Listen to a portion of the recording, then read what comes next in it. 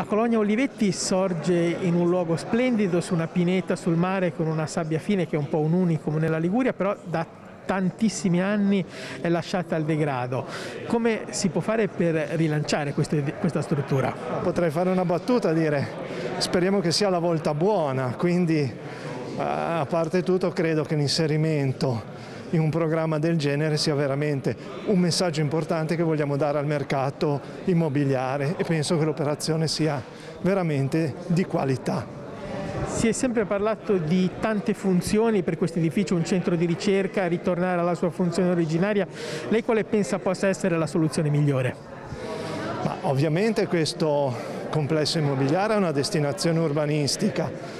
Con il comune l'interlocuzione sempre aperta per cercare di rispondere al meglio a quelle che possono essere le funzioni come dire, naturali e congeniali di questa struttura.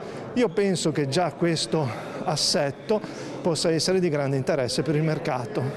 Anche perché potrebbe essere il punto di partenza per la riqualificazione di un intero litorale che ha poco da invidiare rispetto alla Versiglia toscana così tanto frequentata e decantata. Direi di sì, io direi Forza Liguria sempre e comunque, quindi eh, l'operazione che è stata presentata dal Comune eh, è un bel punto di partenza e quindi ci crediamo tutti e credo che il sistema regionale, il sistema delle arti, nel caso specifico, stia dando delle risposte importanti.